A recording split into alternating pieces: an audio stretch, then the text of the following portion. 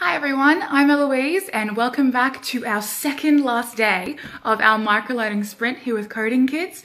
So in today's video, we're going to be talking about iterative design.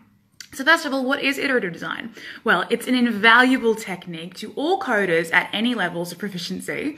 Let's say you wanted to build a project, our dearly beloved maze game, for example, with our monkey. Well, you could theoretically go ahead and build the entire game if you wanted to. However, when we need to then test our finished project and it doesn't run, where would we even start looking for errors to fix?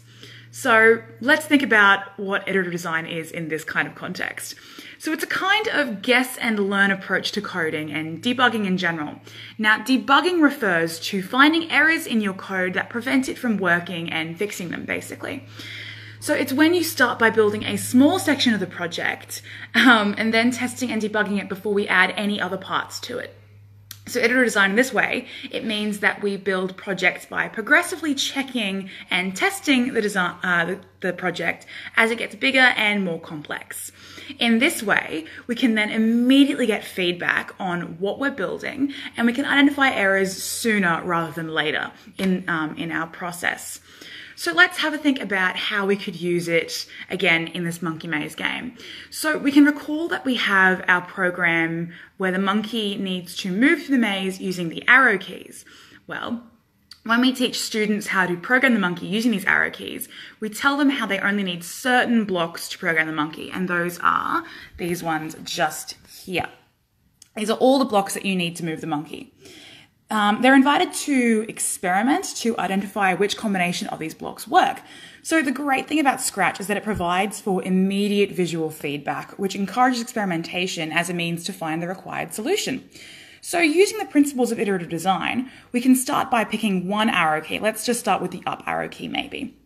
Which blue block do we think over here would make the monkey move up when the arrow key is pressed? You can drag in one of the blocks, any of the blocks at all. I might just try this one at the top, right here. Then you can test out your code. Does the monkey move up when I press the arrow key? Well, let's have a little look. I'm pressing up and he's definitely not going up. So in that case, all right, if I had gotten it correct, then we can just move on to the next arrow key, but I didn't, so that's all right. All that means I have to do is just pop that one out and just try another one. So I'll try popping in the next one just here. And I'll try it again, press my up arrow key. Is it working? And there's my monkey moving up for me.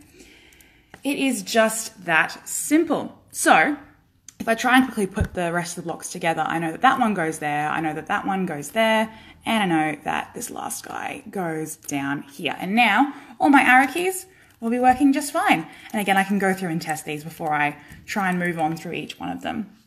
And that is honestly all it is. So just to recap, in today's episode, we talked about iter iterative design. So that is about building one part of your project first, then testing it and debugging it before you move on to the next section. It's an amazing guess and learn approach, and it's a fantastic way to um, approach all of your projects that you're building in Scratch or otherwise. Now, it's not too late to sign up for our mini quizzes, all 10 of them, and when you complete all 10 of them, you can receive your certificate for an hour of Teacher PD. You can subscribe to those mini quizzes in the link that we'll put down below in just a moment. Now, in tomorrow's episode, which will actually be our very last episode in the microlearning series, uh, we'll be sharing our biggest ninja tip for building digital solutions. This is Eloise, signing off.